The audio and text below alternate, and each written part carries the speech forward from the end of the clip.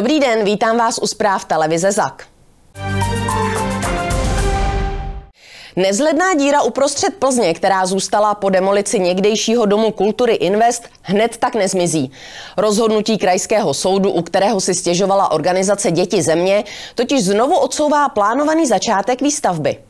Soud dal zapravdu organizaci, která se odvolala proti územnímu rozhodnutí krajského úřadu. To totiž povolovalo zahájení potřebných kroků ke stavbě 8 miliardového projektu, aniž by, podle ekologů, dostatečně ochránilo dřeviny, které tady rostou.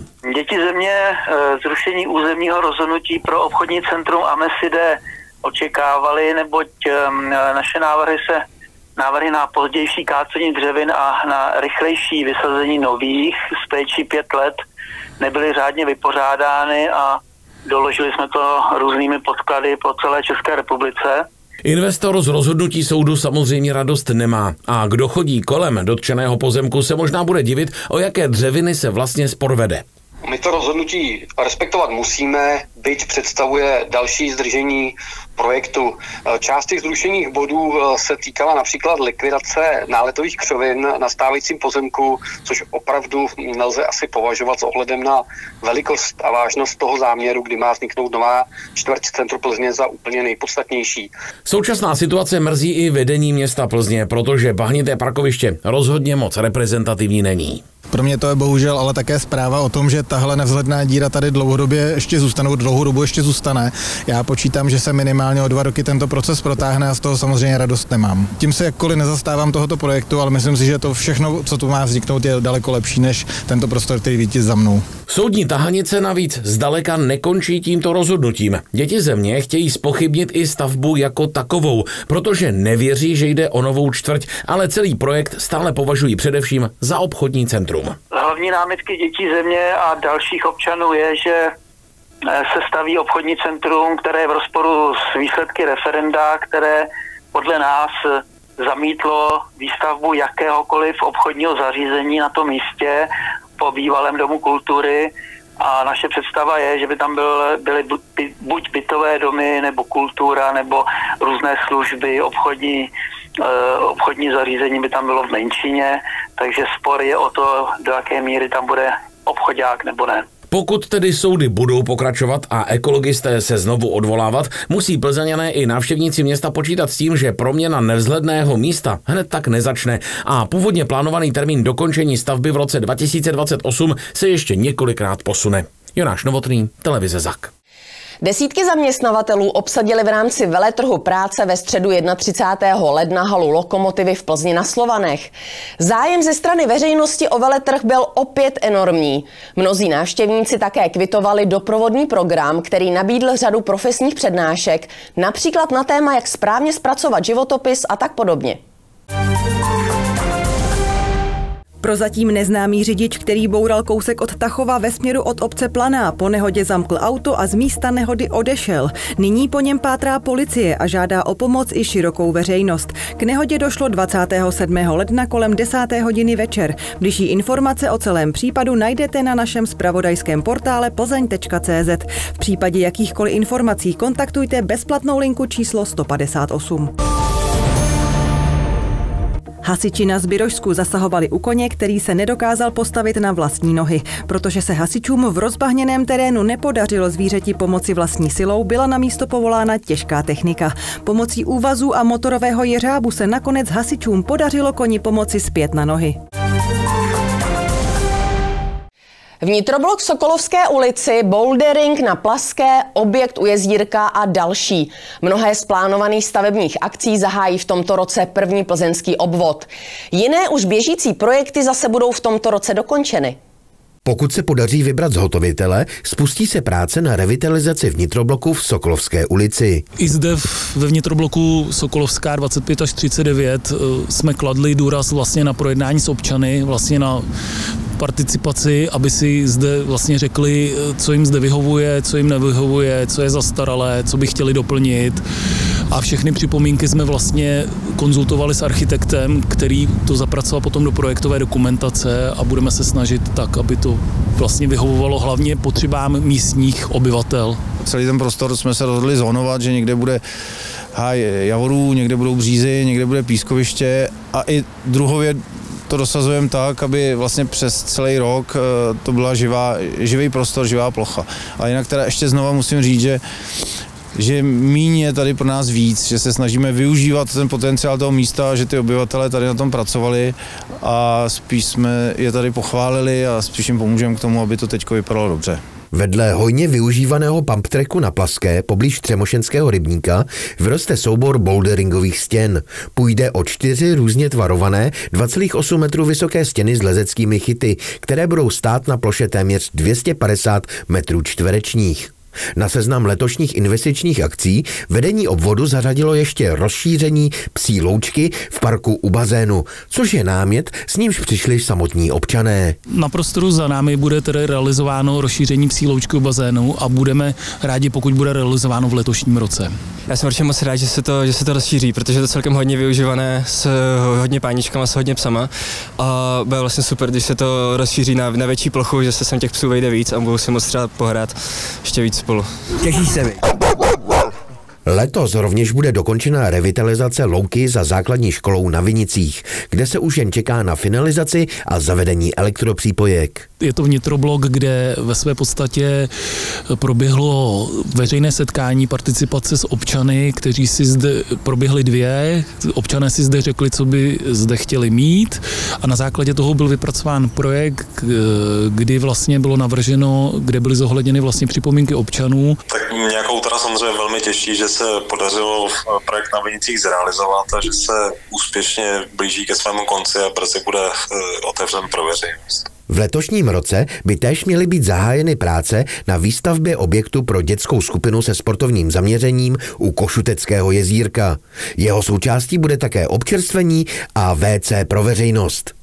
V letních měsících se bude v 7. mateřské školce v Kralovické ulici a v 91. mateřské školce v Jesenické ulici rekonstruovat elektroinstalace. Na tyto, ale i mnohé další investice vyčlenil obvod v letošním roce celkem 121 milionů korun. Pro televizi ZAK František Šimánek. Kvůli tristní hygieně uzavřeli pracovníci státní a zemědělské inspekce maloobchodní prodejnu v Kvíčovicích poblíž Holíšova na Jižním Plzeňsku. Důvodem uzavření měl být myší trus, ale i dřívější prohřešky, kdy při kontrole byly nalezeny i mrtvé myši. Plzeňští skauti pomáhají. Své pomocí vyrábějí svíčky pro nejhůře zasažené oblasti Ukrajiny válkou s Ruskem.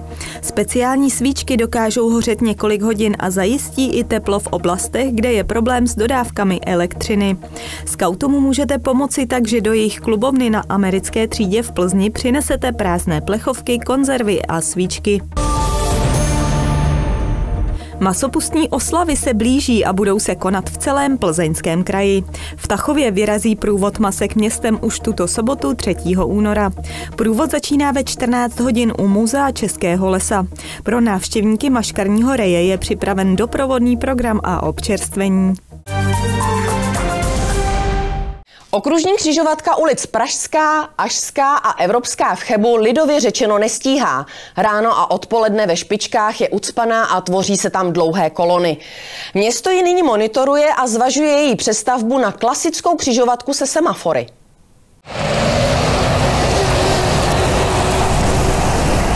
Okružní křižovatka ulic Pražská, Ažská a Evropská v Chebu.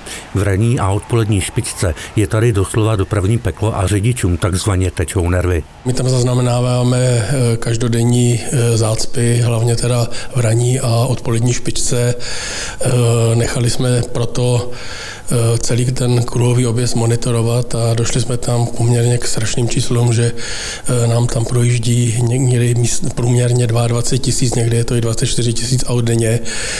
Zaznamenali jsme tam i některé kamiony, pokud tomu můžeme věřit, tak tam se jedná i o číslo 600 kamionů za den. Přitom transitní kamiony mají do Chebu zakázaný vjezd. Přesto si tudy krátí cestu, například do Německa. Kamiony tam nemají co dělat, proto na základě tady jen z toho zjištění eh, se teď městská policie na to zaměřila. Eh, je pravda, že to o něco možná kleslo, ale i tak ten průjezd těch osobních aut eh, a ta zácpa v těch, v těch dopoledních nebo v těch ranních a odpoledních hodinách je pro nás strašlivá.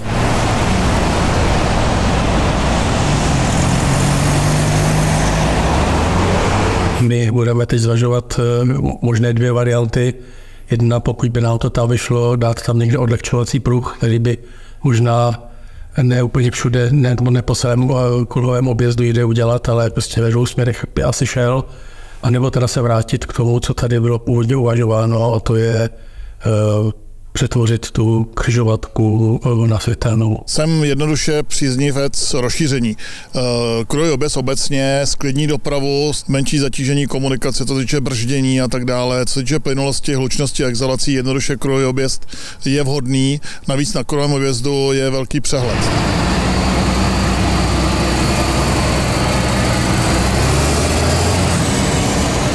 Pakliže kruhový objezd eh, v tomto místě zlikvidujeme, uděláme tam klasickou křižovatku, eh, bude to mít problém eh, v podstatě v dopravním značení, v kolonách a tak dále, rozjíždění vozidel, exhalace, hluk. To znamená, je to cesta zpátky. Schebu Miroslav Sedláček, televize ZAK. Hasiči zasahovali u požáru automobilu v Jindřichovicích na Sokolovsku. Auto začalo hořet krátce po nastartování. U požáru zasahovali dvě jednotky hasičů. Předběžná škoda byla vyčíslena na 80 tisíc korun. Událost se obešla bez zranění. Kateřina Patriková ze Sokolova získala titul Nejlepší mladý chemik. Cenu získala již ve 12. ročníku regionální soutěže Hledáme nejlepšího chemika České republiky. Druhé místo obsadil Filip Marek Radný ze základní školy Poštovní Karlovy Vary. Na třetí příčce se umístil Lukáš Čácha ze základní školy v Chebu. Ředitel hasičského záchranného sboru Karlovarského kraje Oldřich Wolf předal vybraným hasičům pamětní medaile za splnění mimořádného úkolu.